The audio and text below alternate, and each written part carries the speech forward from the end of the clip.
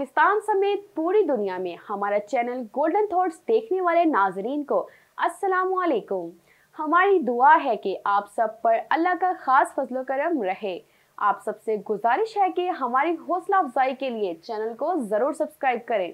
बढ़ते हैं आज की वीडियो की जानब। क्या सऊदी अरब अपना कानून बदलने जा रहा है? जी हाँ वही सऊदी अरब जो मुस्लिम उमा के लिए एक रोल मॉडल की हैसियत रखता है। सऊदी अरब में गैर शादीशुदा अफराद के एक साथ रहने पर पाबंदी की है। लेकिन क्या अब सऊदी अरब रोनाल्डो और इनकी गर्लफ्रेंड के लिए अपना कानून बदलने जा रहा है?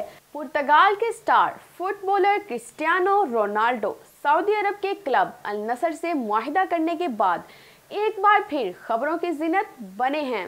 अल नसर क्लब से मुआहिदा करने वाले रोनाल्डो और उनकी गर्लफ्रेंड जिनका नाम जार्जिना रोड रेगस है। बगैर शादी के सालों से एक साथ ज़िंदगी गुजार रहे हैं, जबकि इनके पाँच बच्चे भी हैं।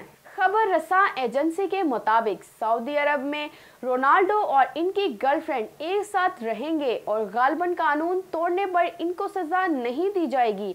वाजिया रहे कि रोनाल्डो और सऊदी अरब के क्लब अल नसर के दरमियान ढाई साल माहिदा तय पाया है, जिसके तहत अल नसर क्लब इन्हें 21 करोड़ 30 लाख डॉलर्स अदा करेगा। स्टार फुटबॉलर का 3 जनवरी को रियाज पहुँचने पर पुरतपाक इस्तकबाल किया गया था। इस्तकबाल के मौका पर इनकी गर्लफ्रेंड और बच्चों को भी भरपूर अंदाज में खुश आमदीद कहा गया।